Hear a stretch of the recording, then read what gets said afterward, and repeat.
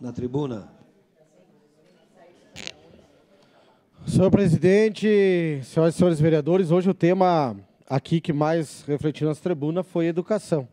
E quando se fala em educação, eu como né, presidente da comissão, vereador Lucas, eu sempre disse e torno a repetir, eu respeito muito quem conhece as escolas, muito mais do que eu.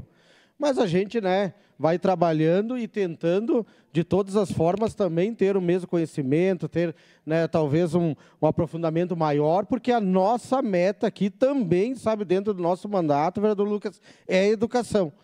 E, infelizmente, quando vem essas situações que o vereador Alberto Meneguzzi colocou aqui, e que bom, vereador Alberto, que procuraram os vereadores, mas a gente recebeu, e, e eu sempre fui, sabe, muito de respeitar as hierarquias, enfim, e tudo mais, e a gente vê que muitas dessas situações que aconteceram, sabe, ah, claro que a diretora, a vice-diretora fez o BO, fez a, né, o exame, tudo certo, tudo né, dentro da, da lei, e existe a lei para isso, né, e a gente vai respeitar o que uh, vai, vai se ajeitar, nesse, o que a, a justiça, enfim, determinar, porque não pode uma mãe sair, né?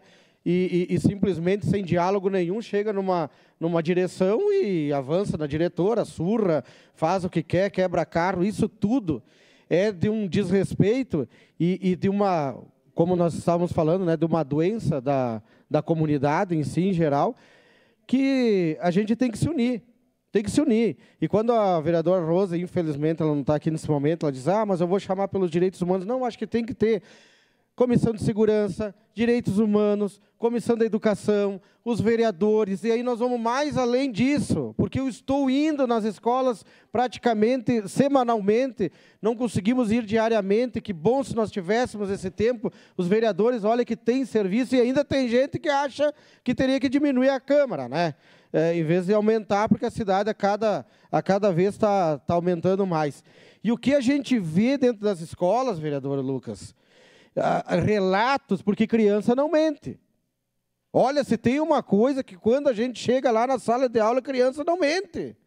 E nós chegamos e fizemos a primeira pergunta: quem que é turista aqui para nós saber o porquê que não está vindo na sala de aula, por que não está vindo? Que é, é, isso é lei, é lei, até os 18 anos é lei frequentar a escola.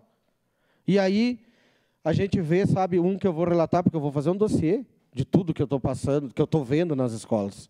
E é positivo ver, mas não o que eu vejo. Isso é negativo.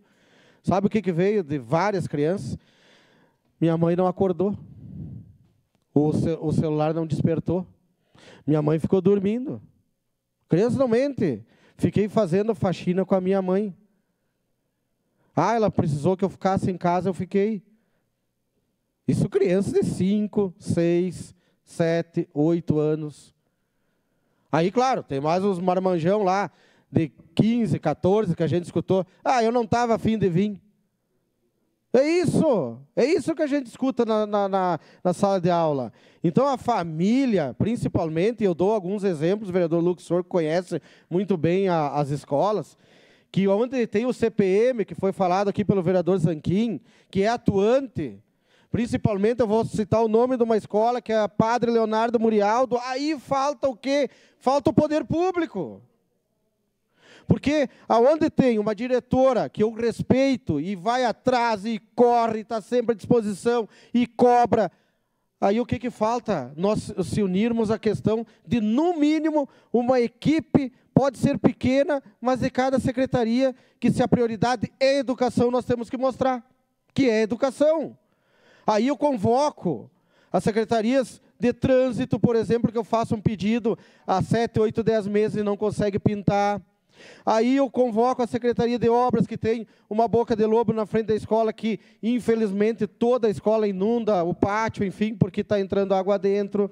Aí eu convoco a SEMA, que tem a questão de várias árvores que estão lá atrapalhando. Aí teve um poste, que eu vou dar um exemplo para vocês, que teve desde 2020, 21, 21 o pedido da troca. E até hoje não foi resolvido. Então vamos dar prioridade à educação, mas que todo mundo se una. Mas eu vou cobrar também a família. Porque eu não posso só vir cobrar o poder público, aonde a família, a mãe não acorda de manhã para levar o filho na escola. E fica dormindo. E essa é a verdade. Então, tem que ter uma união de vários fatores, porque o problema social, a situação social das famílias é muito grave. Teve uma criança que disse que ela não conseguia vir para a escola, pela questão, só para concluir, senhor presidente, que o carro da família era muito velho, né? E, e, e, aí dava problema, mas ele disse: ah, a gente é pobre, mas é feliz. Foi essa a frase que eu ouvi. Então a situação social é muito grave, mas nós precisamos se unir todos. Não é só o vereador, não é só a família, não é só os professores, mas precisamos também que, se a prioridade é a educação, vamos formar então uma linha de frente que seja realmente né, destinado a cuidar das escolas. Obrigado, senhor presidente.